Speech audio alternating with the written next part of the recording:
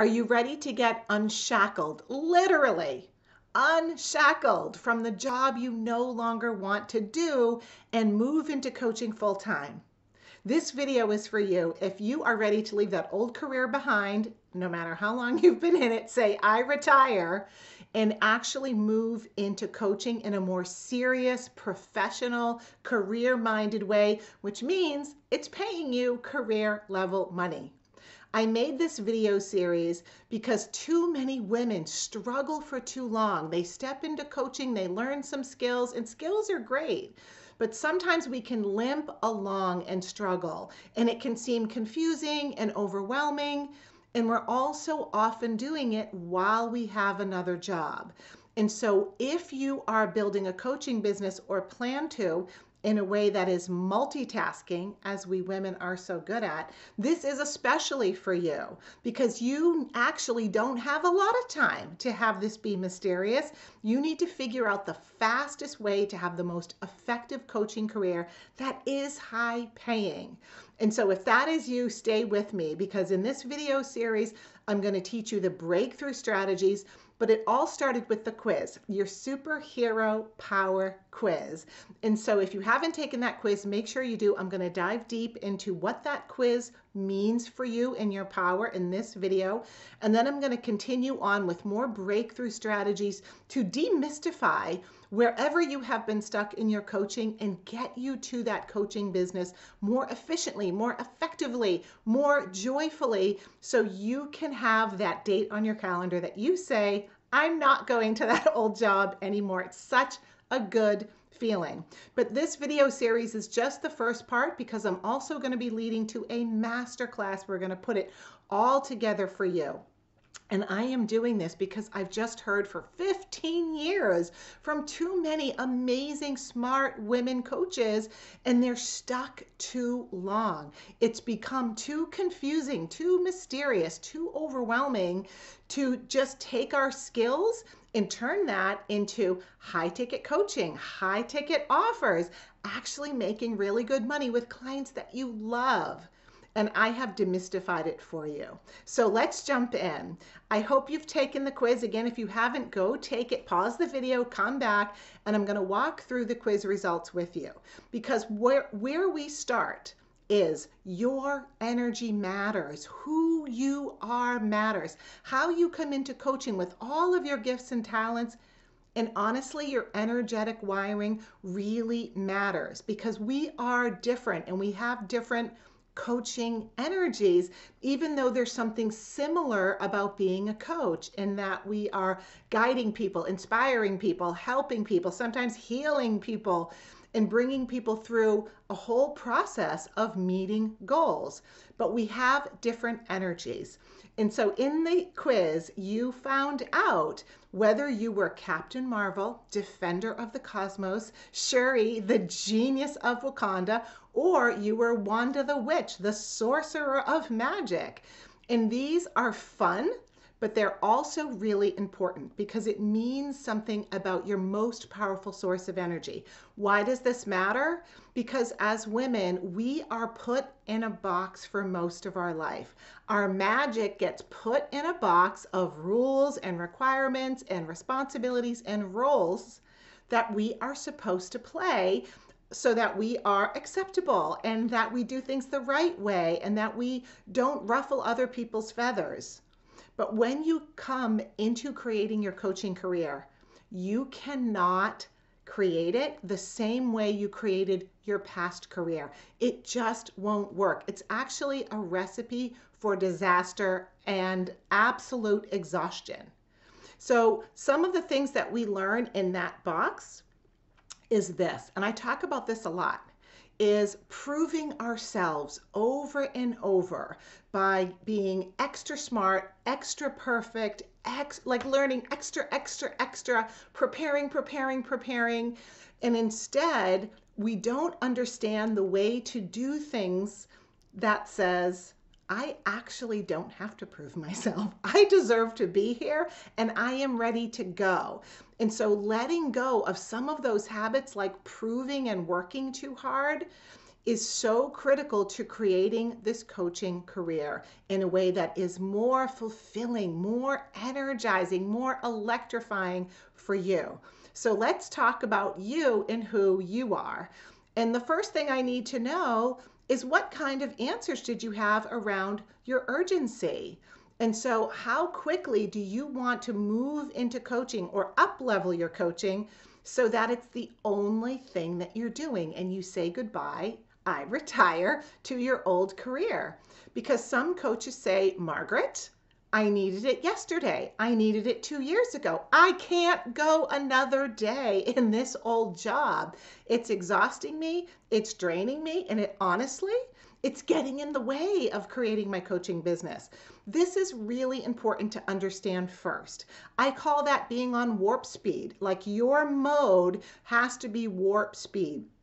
And in that situation, it is even more important to do things the fastest, easiest way, the most clear way, so that you get instant results, instant up leveling, instantly more money, and seeing the path to how you're going to continue to earn really, really well. So, over this series, you're going to pay real close attention to my next video on the blocks you need to clear in order to really own this energy. Second video on who are the most motivated paying clients. There is no mystery about that. I've done the demographics, I've done the research. I am going to tell you so you stop wasting time there. In the third video, when I talk about the kinds of breakthroughs you have to be able to bring for clients so that they don't get stuck, which makes you feel like you're stuck. Okay, some coaches tell me, well, Margaret, if I at least had a one year plan, like I am counting down the days, a six month or a one year or even a one and a half year plan, I can live with that. I can ramp up my coaching while I ramp down my past career. And that's great. That means your mode is counting down to a launch, right? You're counting down the days. But in that case, it's really important to see the framework, the strategies that you are going to use to make sure that when you arrive at that day that you want to leave your old job, you have everything in place. It's not going to be perfection. You can't wait forever. You can't tweak it and learn forever. You need to have a structure and a plan in place and the energy to make that plan happen for your countdown. Now, the third uh, way is sometimes people say to me, Hey, Margaret, I'm just looking around, right? I am just sightseeing here. And that is great. You're welcome to watch this video series. You're welcome to come to the masterclass. It's just that it's not going to feel um, like it's really designed for you, and that's okay for where you are in your journey. We really are here to help you. If your energy is telling you this is more urgent for me. I needed it either yesterday, warp speed, or I am at least on a countdown. You're going to absolutely love the information that we're giving you here. So now that we've clarified where am I in my urgency, we come to your quiz results. So let's talk a little bit about Shuri, the genius of Wakanda. And so with your quiz, you got a little bit of a handout, but I want to touch on some of the highlights here because you have a characteristic, what I call your, your feminine leadership energy that you use in your coaching that really has the flavor of the wise sage archetype. So let's look a little bit at Shuri, right? Shuri possesses an extraordinary mind. She always has a plan. She is the smartest of all the superheroes. Yay, you! she thinks with lightning speed. She always sees the big picture. She has the plan, she has the strategy, she has the devices and the tactics. She loves to improve. And because of that, she has this amazing vision to see her clients, um, or for you to see your clients, to see the bigger picture of where they're stuck and what they might need and how we can tweak this and how we can improve this. And this is an amazing gift However, it comes with a downside. And this is the box that our old career puts us in. Are you ready? The downside of being having such an amazing mind and being so focused on perfection and improving and doing things the right way and the best way, which I love. I have so much of that. The downside of that, the Achilles heel, or as we say in superhero world, the kryptonite for you, is when that amazing mind turns on you and is always saying, I'm not there yet. I should know it better. I should be doing better. I should have figured this out by now. I should know how to do this. I shouldn't need help. I should be smart enough to get this.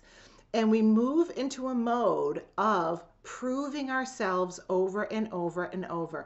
It's like for Shuri, you are in competition with yourself. And it's all about did I do my best? Have I proved yet that I am worthy of charging more money or putting myself out there. And so the fear, because of that critical mind, will come up as what if I'm a fraud? What if I step into coaching in a bigger way and I find out that I'm not as smart as I think I am, that I am missing something big, that people look at me and challenge me, and maybe I am a fraud. And that inside of me, nobody knows it's happening, mental swirl is a hugely depressing energy. Now, it doesn't look like a depressant energy for you because it spurs you into more action, more doing, more perfecting, more thinking, more analyzing. So it looks like an energizing energy, but it's actually a depressing energy because it depresses that willingness, that courage, that enthusiasm, that joyful leaning in and doing something new, even if it's the first time and it's a messy first try. And so we come into that beautiful uh, Shuri energy when our mind reminds us that we are always unfolding. We are always moving forward. There is no perfection. Actually, perfection is boring.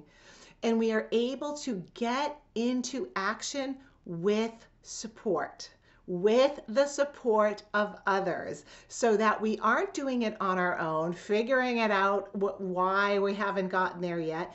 And we actually have others' amazing minds to give us that feedback of where we actually are, what we actually deserve, what we actually need to hold on to for I don't have anything to prove. I have earned it and I'm ready to go.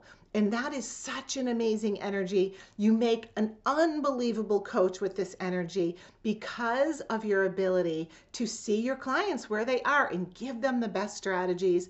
But it's all about allowing yourself to come forward with a bigger leadership energy that doesn't need to be perfect first. There's lots of other amazing archetypal um, energies in this same Shuri energy. Um, let me tell you about some of them because they're so amazing. And we have some of these on your handout, but I really want you to let this in, right? And so other wise sage archetypes are Athena, right? The the genius archetype, um, Wonder Woman archetype, Georgia O'Keeffe, Margaret Thatcher, Marie Curie, Jane Goodall, Billie Jean King. These are other powerful archetypes teacher archetype, mentor archetype, guide, wise sage guide archetype. This is a super powerful leadership archetype for being a coach. It's one of the, the best ones to have. And you need uh, if you have this energy for sure, you need to allow yourself to launch because you can help so many people. It is awesome. Okay, and so let's talk about the Captain Marvel energy. So this is a very different energy. If you have come up as Captain Marvel and maybe your secondary energy is Shuri, but Captain Marvel really feels like your main energy. Well, you're wired in a different way. This is more of the warrior energy or the mama bear energy. It's a bigger, fuller leadership energy and it's full of passion. So let's talk about Captain Marvel your Captain Marvel energy means you are pure energy that's driven by passion. There's a fearlessness and a freedom in who you are and what you want to do. Um, your energy is so into advocating for others, empowering others, inspiring others that they can do anything. Because one of the funnest things for you is the thought that you can do anything, that you can do great things. Um, but what's interesting is the ability to be both strong and incredibly vulnerable at the same time. And that makes for a coach who is not only encouraging, but is inspiring at the same time. Now, you can also have an amazing mind. You can also love to study and learn and do things right and have all of the strategies. You can also get stuck in perfectionism. However, you will do those things if it's the best way for you to win. And so, unlike Shuri, for you, it's less about the perfection of it all, unless the perfection allows me to win, to do something bigger, to be something bigger. So at the same time, she could you could switch gears on a dime and say, I'm just going to go all in with passion and do a big messy try and see what happens. Because it's all about doing something big, all about doing something amazing. It's a moving forward energy. And because the energy is so big, it also has a big Achilles heel. Now, as women, we are put in a box that we are supposed to be smaller and be more accommodating and not push anyone's buttons. And this is a really hard box to be in when you have this big energy because it it completely restricts and and goes against all of the rising energy that you want to have to be as big and as free as you want to be.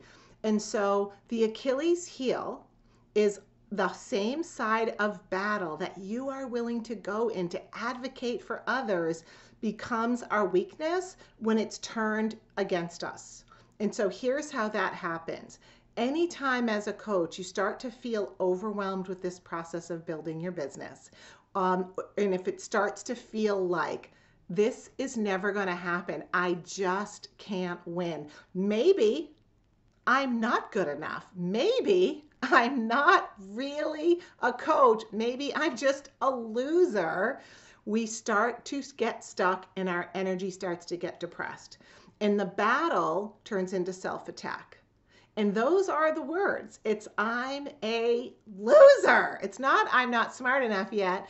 There's no middle ground between am I a superhero or am I just completely broken and I'll never get this. And so it's a big energy swing when we go into battle. And sometimes it's battle with other people, but often, so often, it's battle with ourselves.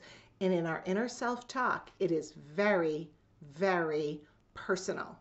It is all about whether or not we are a loser and we are broken and we are irredeemable versus I want to be this amazing force in the universe. And so when that happens and we go into that battle with ourselves or with God or with the universe or with other people, again, we have a depressing of energy. And that depressing of energy can cause us to both spin in our head, like the Shuri superhero archetype, start thinking and analyzing too much. But it also causes us to um, to be in battle with any kind of structure, with our own goals, to be in battle with all the strategies that normally work for us, to be in battle with people who want to help us by pulling away and isolating and saying, I'm not even worth it, I'm not even going to get engaged. And so we start to depress that energy and it turns into refusal energy. So, what we become really good at instead of fighting and moving forward is, oh, I'm really good at resistance and refusal. And imagine you're trying to build your coaching business and you get very excited, and then all of a sudden you start hitting roadblocks or you start uh, multitasking too much, and honestly, it's not working and your energy starts to get overwhelmed and frustrated because you can't get what you want to create. That is such a big danger zone. And it makes so many coaches go on this roller coaster of spits, like starts and fits, right? Where we get started and then we sort of pull it all back and get really, really frustrated and wonder if it's ever really going to work. And that is not the fastest way to build a business, just like perfectionism isn't. It means that instead of staying on this steady track, we're going up and down, up and down, getting stuck, going into battle, sometimes wondering if we should even just give it all up altogether. And of course, people around us have a hard time supporting us when we go into battle with ourselves. And so having this really big energy and knowing how in the, the most of our lives, especially in our professional careers, we had to kind of keep it under wraps. We had to keep it silently within us. All of this back and forth, this battle inside of us, all has to be contained.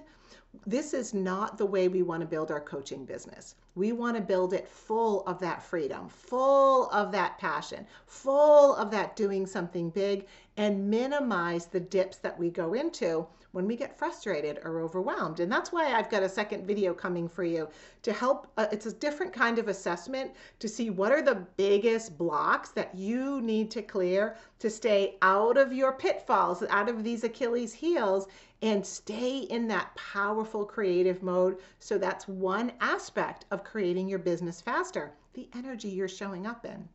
So let's move on and talk about Wanda, the Scarlet Witch of Magic.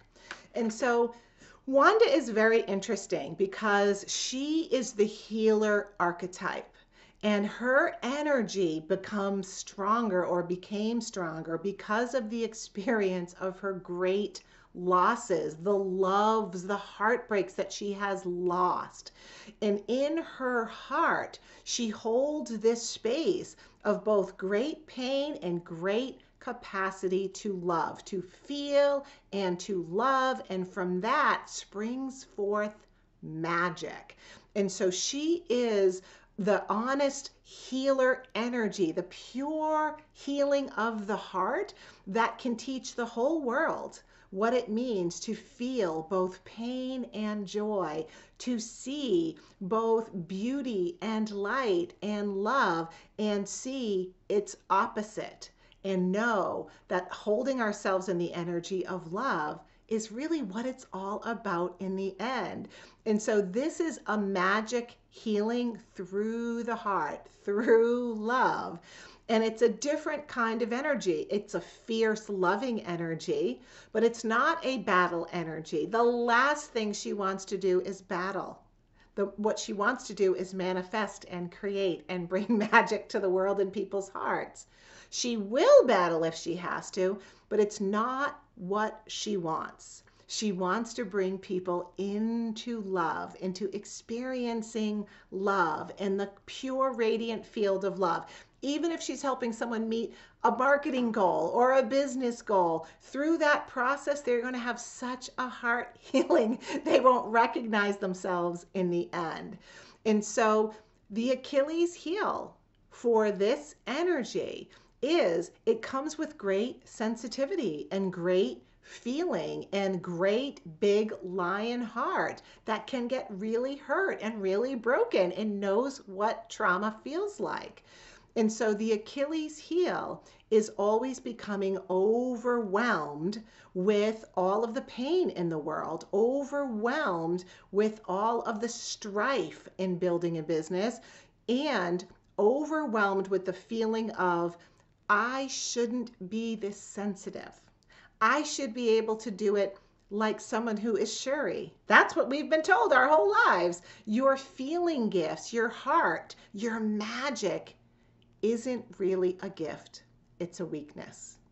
And therein is the biggest Achilles heel for this, this magic witch energy. When we think our biggest gift that we are born with, our magic, is actually a weakness, we spend our whole careers trying to be someone else, trying to be super perfect or trying to be super strong. And all of those things are a painful, eventually collapsing energy for the Scarlet Witch. And so we go into habitual or, or uh, rounds of feeling really good and then having total collapse, feeling exhausted, feeling drained, feeling like it's just impossible. And that sadness, that grief, that sort of frustrated, angry tears can come out in little little and big explosions of power. But they're not about um, forcing something. It's more about feeling the pain of what it's like to end up feeling abandoned again alone again like you don't fit in this world because your gifts are not the gifts that people value and so imagine trying to build a business as someone who has this kind of heart, this kind of deeply feeling, sensitive energy, this kind of healing, and coming up again and again around strategies and disciplines and time frames that say I, there's one way to do it and I have to push and force and discipline myself and stop feeling so much to get there, we'll end up creating a coaching business um, really for all three of these energy types, end up creating a coaching business that is more like our past career with all the things we didn't like about it.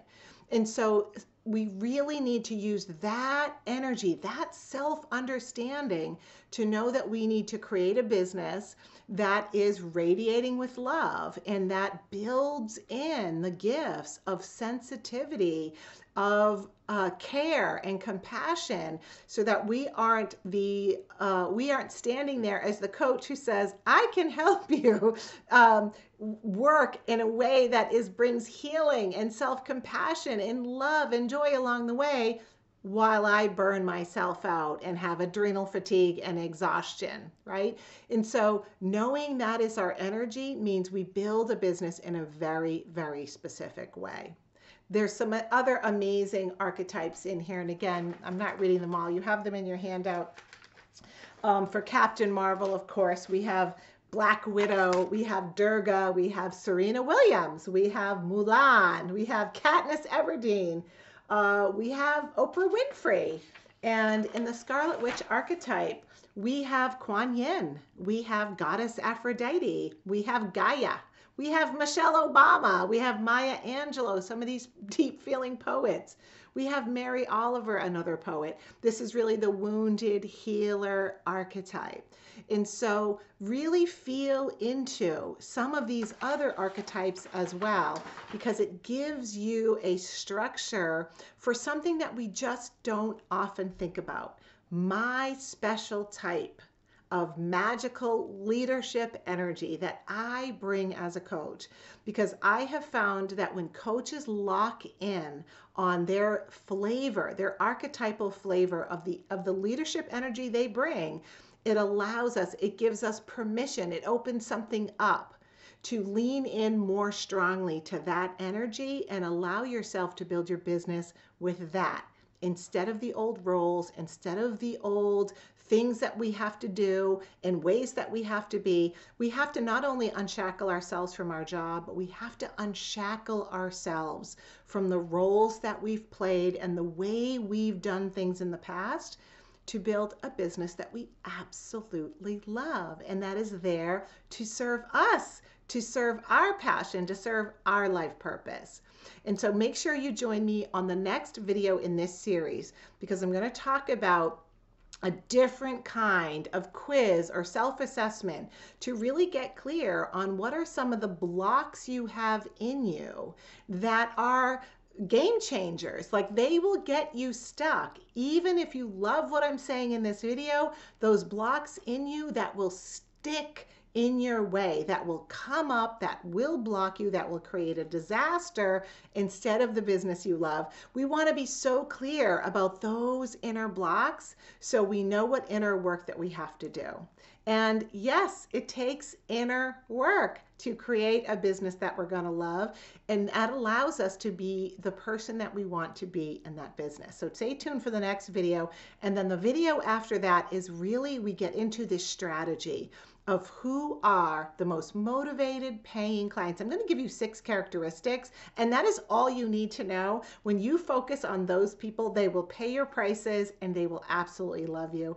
And then our last video in the series before the masterclass, I'm going to talk about the types of breakthroughs that all clients need, no matter what kind of a coach you are, so that they never get stuck in procrastination. They never get stuck not knowing why they won't go for their goals. And it's also the same kind of breakthroughs we often need. So I can't wait to teach that to you as well. And again, it's all leading to my, my masterclass training that we'll be doing live. We'll have dates for you there, and I will see you on the next video.